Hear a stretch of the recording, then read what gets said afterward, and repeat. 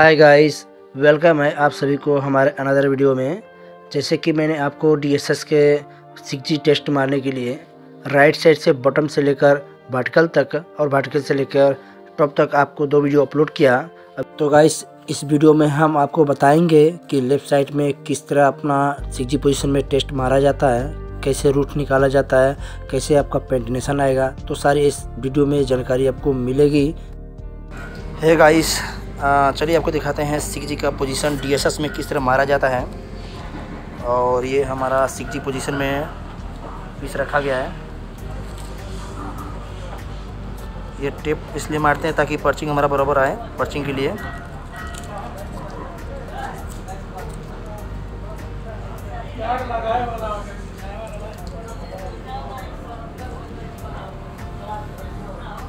और ये हमारा अर्गन ट्रस्ट को सही कर रहे हैं। कंडीशन डाल रहे हैं अंदर में और टेस्ट पीस इस तरह टांगा जाता है ऊपर में और पोजीशन बना रहे हैं अपना। टार्च का बैकअप और क्वाइलेट और टेंडिशन को अच्छी तरह टाइट कर लेंगे ताकि हम जब भी अपना रूट मारना स्टार्ट करें तो कहीं गैस लीकेज के कारण से पोरोसिटी आ सकता है। और ऑक्सीजन हमारा अपना बराबर चेक करेंगे, कहीं है तो नहीं, क्योंकि इसके लिए हम मॉनिटर ऊपर में देख सकते हैं काला रंग का जो पाइप है, वो मॉनिटर लगा हुआ है। और ये हमारा राइट साइड का हमने मार चुका है, देख सकते हैं रूट और लेफ़्ट साइड से हमें स्टार्ट करना है। आपको इस तरह स्टार्टिंग पॉइंट बना लेना है। और फोर एम का गैप होना चाहिए। डीएसएस और एस में ज़ीरो फेस होना चाहिए आपका फेवल का। तो अच्छी तरह से रूट बराबर काट के मारेंगे तो ज़ीरो ज़ीरो आपका आएगा। तो गाइस तो अभी हम पूरा रेडी हो चुके हैं। अब हम करेंगे अपना रूट स्टार्ट अभी हम पावर अपना लेंगे 80 या 85 या 75 पे ले सकते हैं। लेकिन आप 80 पे लेंगे तो अच्छी तरह से रूट बराबर आएगा।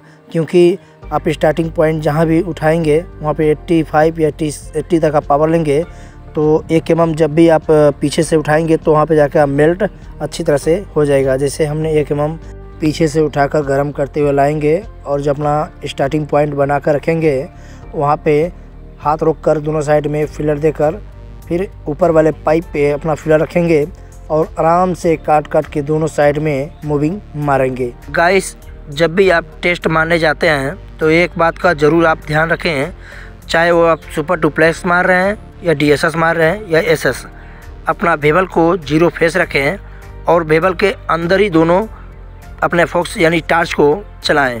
क्योंकि आप दोनों भेबल के अंदर में चलाएँगे तो अच्छी तरह से आपका दोनों एक एक एम दोनों साइड में आपका एज मेल्ट होते जाएगा और अपना फिलर टॉप वाले पाइप में रख के मारेंगे तो तकरीबन तीन से चार एम चौड़ा आएगा पेंटेनेशन दोनों साइड को मेल्ट करते हुए और हाइट होगा पेंटेनेशन का वन एम ओके गाइस तो आप कभी भी मारें तो दोनों पाइप के भेबल के अंदर ही अपना टार्च को चलाएँ और ज़ीरो फेस पे अपना वेबल को रखें। तो बहुत ही अच्छी तरह से डीएसएस और एसएस रूट और पेंटेनेशन बहुत ही अच्छा लाजवाब आएगा और आपका R T x-ray hundred percent pass हो जाएगा और विजुअल भी।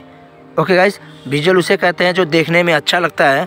तो कभी भी आप टेस्ट मारेंगे तो सबसे पहले आपका पीस विजुअल यानी देखकर ही क्यूसी या क्लाइंट जो भी रहेगा, आपको पास करेगा। तब आपको आरटी और एक्सरे में जॉइंट रेडियोग्राफी में भेजा जाएगा आपका पीस को। और गाइस तो ये सारी चीज़ों का बराबर ध्यान रखें। और अपना मशीन में पावर भी हमने लिया है। 90 90 है 87 है 85 तक आप मार सकते हैं क्योंकि आपका दोनों एज को अच्छी तरह से मेल्टिंग होना चाहिए। तो गाइस जैसे मैंने आपको बताया कि दोनों भेबल के अंदर आप अपना टॉर्च को रखेंगे और फोक्स को फोक्स जो होता है ना आपका टॉर्च का, वो बराबर दोनों एज पे आपको बराबर दोनों एज पे मेल्टिंग होना चाहिए। जैसे कि गाइस मैं आपको आउटसाइड से आपको दिखा रहा हूँ, यानी बाहर से कि किस तरह मैं मार रहा हूँ, अपना टॉर्च किस तरह मैं चला रहा हूँ और फोक्स किस तरह मैं अपना मूविंग कर रहा हूँ। एक एज पे फिलर रखेंगे और दूसरे एज को आप मेल्ट करेंगे। और गाइस मूविंग इस तरह हल्का हल्का हाथ लेकर चलाएँगे तो आपका अच्छी तरह मेल्टिंग होगा। और गाइस अभी हम आ चुके हैं टॉप के पोजीशन में। पार्टिकल से ऊपर आ चुके हैं। तो ये हमारा सिक्स में पीस लगता है। 90 डिग्री 45 डिग्री में लगता है। टेस्ट मारा जाता है, इसे सिक्स पोजीशन बोला जाता है। अभी अपना हम टाका काटेंगे और ग्राइंड करके अपना पॉइंट बनाएँगे। फिर उसके बाद से अपना स्टार्टिंग पॉइंट करके रेडी तब रूट मारना स्टार्ट करेंगे। तो गाइस तो अपना ग्राइंड से जहाँ मेल्टिंग करना है, उसको भी अपना स्टार्टिंग पॉइंट को घस करके, उसको भी मेल्ट वाले पॉइंट को भी अपना ग्राइंड कर लेना है और दोनों को ग्राइंड करके फिर अच्छे से अपना पॉइंट बनाकर देख सकते हैं, जैसे मैंने ग्राइंड किया है, नीचे, ऊपर में दोनों जगह, ऊपर में हम मेल्टिंग करेंगे। तो आप इस तरह आप ग्राइंडिंग कर लेंगे और हल्का सा एच कर, पतला कर देंगे, ताकि आप जब स्टार्टिंग पॉइंट पे इस तरह ग्राइंड करके उठाएँगे तो आप ला करके मेल्टिंग पॉइंट पे मिलाएँगे तो बहुत ही अच्छी तरह से मिल जाएगा। ओके गाइस तो ये इस तरह आप रेडी कीजिएगा। जब भी आप मारे टेस्ट तो स्टार्टिंग पॉइंट और मेल्टिंग पॉइंट को आप ग्राइंड और उसके बाद से अभी हम लगाएँगे मास्किंग टेप मास्किंग टेप लगा कर अपना पर्चिंग के लिए वेट करेंगे। जब हमारा मॉनिटर में ऑक्सीजन बताएगा पर्चिंग ज़ीरो ज़ीरो हो गया ज़ीरो पॉइंट वन होगा या ज़ीरो पॉइंट फाइव टेन तक आएगा, तभी हम मारना स्टार्ट कर सकते हैं। क्योंकि अभी हम चारों साइड से मार चुके हैं। अभी हमारा ओनली एक इंच से दो इंच करीब में बच चुका है हमारा रूट पेंटिनेशन मारने के लिए। अभी देखते हैं कि हमारा ऑक्सीजन मॉनिटर में कितना पर्चिंग बता रहा है। मॉनिटर का हॉस पाइप बाहर निकल गया है। अभी इसे हम अंदर डालेंगे और मॉनिटर के हॉस पाइप में एक स्टील का पतला सा पाइप रहता है, क्योंकि ये प्लास्टिक का होता है और आगे जो होता है स्टील का पाइप रहता है तो वो गर्म से जलता नहीं है। अभी हम मॉनिटर में देखेंगे कि अपना कितना हमारा पर्चिंग आ गया है। अभी एट्टी है, ये डाउन हो रहा है। ये आएगा ज़ीरो पॉइंट ज़ीरो तक या ज़ीरो पॉइंट वन तक आएगा। अभी देख सकते हैं ज़ीरो पॉइंट सेवन हुआ। ऐसा ऑटोमेटिक बढ़ जाता है फिर ऑटोमेटिक कम भी होता है। तो वो जब तक ज़ीरो पॉइंट टेन एम से नीचे रहेगा, तभी आप मारना स्टार्ट करेंगे। और गाइस तो हमारा आ गया पर्चिंग अभी बराबर। अब हम करेंगे फिर अपना भार्टिकल से ऊपर हम आ चुके हैं, यानी मेल्टिंग पॉइंट के करीब आ चुके हैं तो अपना हम रूट स्टार्ट करेंगे। गाइस स्टार्टिंग पॉइंट में हम एक एम पीछे या दो एम नीचे से ही अपना टॉर्च को गर्म करते हुए जाएँगे और स्टार्टिंग पॉइंट पे आएँगे तो दोनों भेबल के साइड में गर्म करके और फिलर अपना ऊपर वाले पाइप पे एक एच पे रखेंगे और बहुत ही आराम आराम से उसे ऊपर से काटेंगे और दूसरे वाले भेबल पे लाकर अपना एज को मेल्ट करेंगे। और गाइस, कभी भी आप फिलर कंटिन्यू बीच में मत डालिएगा, नहीं तो आपका पेंटेनेशन बराबर नहीं आएगा। अंदर कट आएगा फिलर कट आएगा और रोड शॉर्टेज भी आ सकता है एक्स्ट्रा पेंटेशन भी आ सकता है और एलएफ भी आ सकता है। ओ गाइस तो एल उसे बोलते हैं जो अच्छी तरह से आपका फिलर मेल्ट ना हो, क्योंकि बीच में आप फिलर डालेंगे तो फिलर ऊपर का लगेगा कि आपको मेल्ट हो गया है, वो कट जाएगा फटाक से और अंदर में वो आपको फिलर दाना दाना जैसे मतलब हल्का हल्का पॉइंट पॉइंट जैसा रहेगा। वो गाइस उसे एलब बोलते हैं।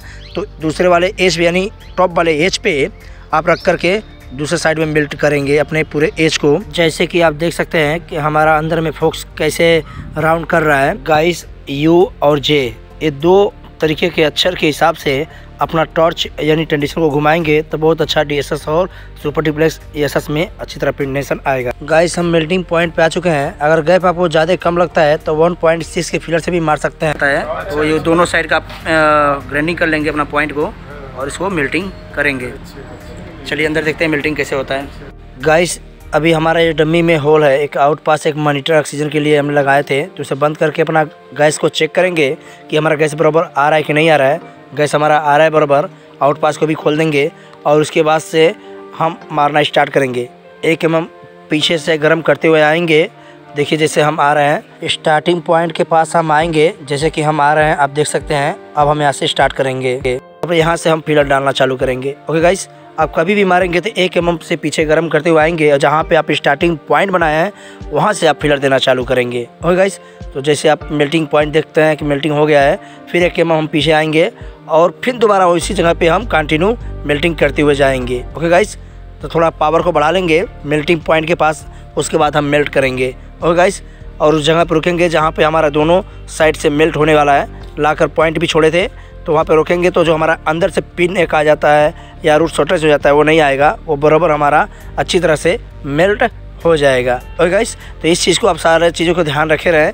जैसे कि मैं आपको दिखा रहा हूँ कि मेल्टिंग कर लिया हूँ और उसके बाद भी हम गर्म करते हुए मारते हुए और आगे थोड़ा एक इंच बढ़ के जाएँगे तो हमारा रूट शॉर्टेज नहीं होगा। ओके गाइस तो चलिए हम अंदर में देखते हैं कि हमारा रूट कैसा आया है और किस तरह हमारा पेंटिनेशन आया है कैसा है। ओके गाइस भैया खोलो खोले खोले खोले। गाइस देख लीजिए इधर थोड़ा। गाइस ये ओपन हो गया। देख सकते हैं अंदर से हम लोग गाइस ये ओपन कर दिया गया। अभी अंदर से देखते हैं कि रूट कैसा आया है। अच्छा चेक कर लीजिए। तो गाइस चलिए अंदर हम चेक करते हैं कि हमारा पेंटिनेशन और रूट का कलर कैसा है। तो गाइस आप देख सकते हैं कि हमारा रूट बिल्कुल सिल्वर कलर है जो कि आना चाहिए सिल्वर कलर डीएसएस और एस में सिल्वर कलर ही आएगा तो वो रूट को विजुअल और आर टी एक्सरे में 100 परसेंट पास होगा। और गाइस जितना भी स्टार्टिंग पॉइंट उठाया गया है बिल्कुल अच्छी तरह मेल्ट हुआ है और बहुत ही सॉफ्ट की तरह मेल्ट हुआ है। पता भी नहीं चल रहा कि हम स्टार्टिंग पॉइंट कहाँ से उठाए हैं और कहाँ से नहीं उठाए हैं। तो ये सब सारी चीज़ों को आप ध्यान रखते रहिए। ओके गाइस क्योंकि आप डी एस एस हाईवी वाल में मारते हैं तो इस तरह रूट आना चाहिए। ओके गाइस तभी आपका radiographic hundred percent R T और एक्सरे पास होगा। ओके गाइस तो ये सिक्स जी पोजिशन में इस तरह टेस्ट लिया जाता है। अंदर में देख सकते हैं कि हमारा बॉटम में भी बहुत अच्छी तरह रूट आया है और अच्छी तरह नीचे से स्टार्टिंग पॉइंट भी हमारा उठा है। कहीं भी रूट शॉर्टेज नहीं आया है एलअप भी नहीं आया है रूट कट नहीं आया है, अंदर कट नहीं आया है, बराबर हमारा रूट एकदम हंड्रेड परसेंट एक्वल आया है। तो गाइस ये सब चीज़ों को आप फॉलो करते रहें तो आपका रूट बहुत बराबर हंड्रेड परसेंट आएगा। गाइस आप ये देख सकते हैं कि एक नंबर का मेल्टिंग और रूट दोनों बराबर आया है पेंटेशन भी। तो सिक्स जी में इस तरह आपको टेस्ट मारना पड़ेगा और इसे अंदर जो बोलते हैं, उसे पेंटनेशन और जो अंदर में आपको दिख रहा है वो पर्चिंग का पाइप है। तो मेल्टिंग भी हमारा सही है और एंडिंग पॉइंट भी और मेल्टिंग पॉइंट दोनों पूरा बराबर सही है। सिक्स जी में इस तरह आपको टेस्ट मारना पड़ता है डीएसएस का। तो गाइस ये डीएसएस मेटल का छोटी सी जानकारी थी। अच्छा लगे तो लाइक शेयर कमेंट ज़रूर करें। मिलते हैं नेक्स्ट वीडियो में। जय हिंद।